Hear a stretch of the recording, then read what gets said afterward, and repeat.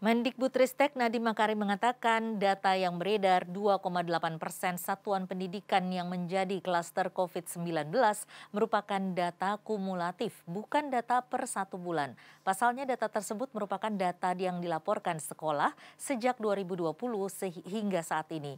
Nadiem juga mengatakan miskonsepsi ini juga terkait angka 15.000 murid dan 7.000 guru positif COVID-19.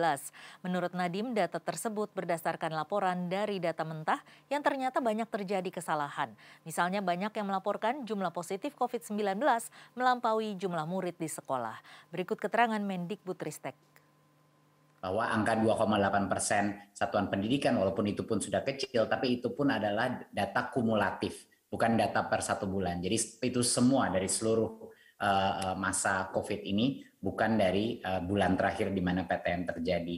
Itu pun 2,8 persen dari sekolah yang dilaporkan oleh sekolahnya ada yang COVID itu pun belum tentu mereka melaksanakan PTM dan juga satu lagi adalah untuk bagi teman-teman media untuk menyadari bahwa angka yang kemarin disebut 15.000 uh, murid dan 7.000 guru uh, positif COVID-19 itu berdasarkan laporan data mentah yang ternyata banyak sekali errornya. Contohnya banyak sekali yang melaporkan jumlah positif COVID itu melampaui daripada jumlah murid di sekolah-sekolahnya. Jadi sekali lagi kita harus berfokus kepada data yang ada dan terutama dari data dari Kemenkes yang telah uh, mendapatkan berbagai macam tes result dan melakukan sampling dan ke depannya kami akan ada dua kolaborasi dengan Kemenkes yang pertama yang disebut Pak Budi tadi untuk memastikan bahwa eh, sekolah-sekolah mendukung fasilitas random testing, sampling yang dilakukan dan kita akan secara spesifik akan menutup sekolah di mana kalau sudah melampaui 5% eh, positivity rate.